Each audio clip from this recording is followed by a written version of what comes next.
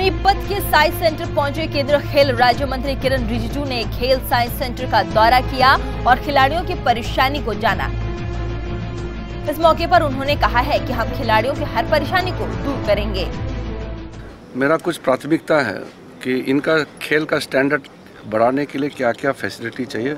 अभी इनके डायरेक्टर ने मुझे बताया तो कुछ पैसे का कुछ लागत चाहिए वो मैं करूँगा। और फैसिलिटी जो है वर्ल्ड क्लास होना चाहिए। किरण रिजिजू ने कहा कि हर राज्य की अपनी अपनी खेल नीति होती है। पूरे देश के सभी स्पोर्ट्स मंत्रियों को कॉन्फ्रेंस के लिए मैं बुलाने वाला हूँ। जो खिलाड़ी देश के लिए मेडल लेकर आते हैं उन्हें इनाम राशि देनी चाहिए। तो एक स्पोर्ट्स कल्चर डेवलप करना है देश में ये बहुत ज़रूरी है। अलग अलग खेलों में हरियाणा में तो लगभग हर क्षेत्र में हरियाणा काफ़ी आगे है। लेकिन और भी आवश्यकता है आगे। हमारा इतना बड़ा देश है तो हमारा एक दो एकेडमी से तो होगा नहीं। हर राज्य में, हर ज़िले में हमारा प्रशिक्षण केंद्र होना चाहिए।